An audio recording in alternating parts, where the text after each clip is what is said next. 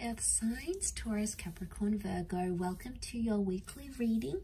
We'll be having a look at what's coming up for you this upcoming week using a couple of decks. If you enjoy this content, please don't forget to like, share and subscribe to the channel. Um, otherwise, let's have a look what the overall theme is for you Earth signs this coming week. Earth signs. Okay, you've got the Priestess of Ambition. Okay, super powerful. Um, you're really determined to get something going here. You're really determined, you're really focused on a connection or someone is showing their sheer determination towards you.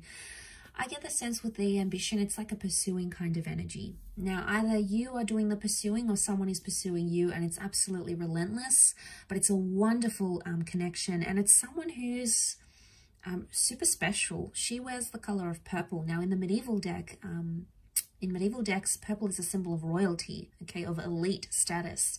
So there's someone of good status, of wealth, of power, of influence, of inspiration, of good, um, of good quality that's coming in around you, that's really pursuing you.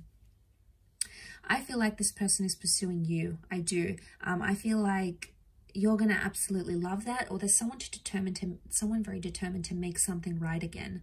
So if you've been waiting on someone and you've been waiting to see their efforts this is a message that they could step up. This could be the week that they um, are much more ambitious okay? They aim high they want to step up they want to do things they want to get things done um, okay? Especially if you haven't had contact with this person or things have gone quiet um, and it could very much be with an ex it's something you've waited a long time here for, um, Earth signs. Now, this is Sagittarius energy. Um, it's temperance energy. It can be like patience or moderation. I always associate twin flame energy with the two cups of the angel balances here. Um, angels can be communicators, so um, because the page of swords is looking back, the four of swords is like you left something, you left it where it's at. I get the sense that you're either picking something up with an ex, you're looking back to the past, so you're looking back, and it's someone you've waited a very long time for to either step up, to be what you want them to be, um, to confess something, okay? Because the Temperance card, Sagittarius energy is truthfulness. It's being straight up about a situation. So if you've put this connection to bed, you've put it to rest, or you've, you know, you've you don't want to leave entirely. There's been a part of you that felt like the Page of Swords, so you didn't feel entirely confident to leave it behind. You've tried to, or maybe you're still in the early stages of getting over this connection, but it's coming back, and it's coming back bigger and better and stronger than ever before. So I'm quite impressed with this reading, and I would say I'd be very impressed with this person's behavior or the extent they're willing to go to for you. Now, so you're looking back, okay, Page of Swords, you're looking back on conversations, you're looking back at this person, maybe you're reading over text messages, you're trying to figure out what went wrong, what happened when it did, and why it happened when it did. So you're questioning a lot of things. Um, and you're going to get truth, okay? I feel like with the temperance, it's presenting everything as it is. So you're going to get an honest answer, a straightforward answer, I don't get the vibe that's beating around the bush. I get the vibe that it's um, it's pretty straightforward what someone wants to communicate or what they want to say or how they want to come across. It's it's an open energy, and you'll be able to like. It's almost like you'll be able to work it out and talk to them about it and then you'll be able to like shut the door on it. It's like okay this happened. I've forgiven you. You've forgiven me. Let's file it away. And not in the sense that you're pushing it under the rug and it's like okay let's never talk about this again. Let's pretend it never happened. I get the vibe that you will talk about it okay? You will dip your feet in it. It may feel a little bit uncomfortable at first but throughout the week you'll start to see that it's going to remedy a situation because look at this. It's peace.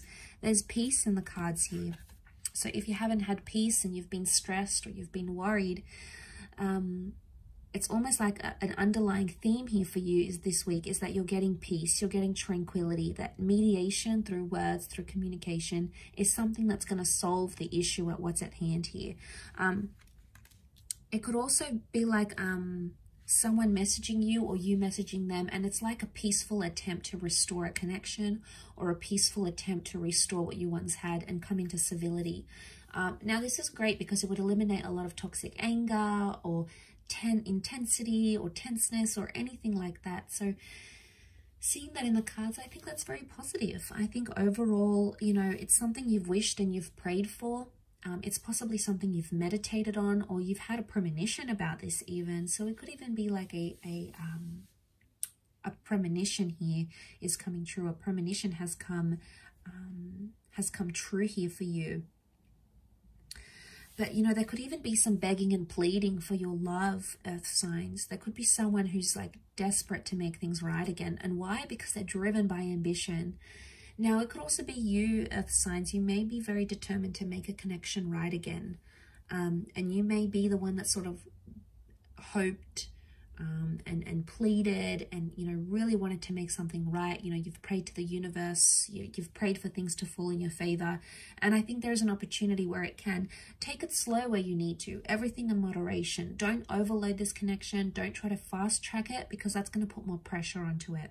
Because you've got such a peaceful energy, although ambition is here and you have such a peaceful energy, I would say the best way to do this is to take it one day at a time. Yes, you want answers, they want answers, you want to work this over, but the longer you take in this, the more you're going to get out of it, essentially. Now, you're, you're quite patient as signs, um, so overall, I think you're able to do this. Well, you know, the Virgos, okay, you might want more answers sooner, and that's okay. It's just in your nature to be this way. But um, I get the sense that the slower you take things, the more you're able to reflect and meditate and think about them, the more clarity you're going to get and the more peace you're going to invite into this connection where there wasn't any. Um, or the more peaceful communication you'll be able to restore. So no more fighting or being abusive or spiteful or accusing each other of doing certain things. It's a much more peaceful approach.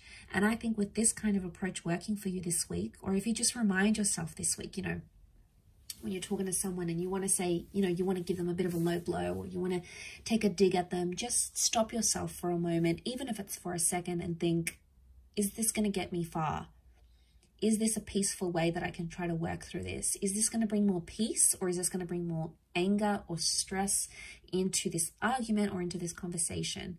And all it takes is just that split second and it could change the whole outcome of the conversation or the whole outcome of what it is that you're aiming to get to. So I think it's just a peaceful reminder that something you need to think about this upcoming week. I'll leave it at that though, Earth sign. So thank you again so, so much for tuning in. Uh, don't forget to reach out if you are after a private reading with me. Um, otherwise, hopefully we shall be in touch very, very soon. And um, have a wonderful week. And until next time, bye for now.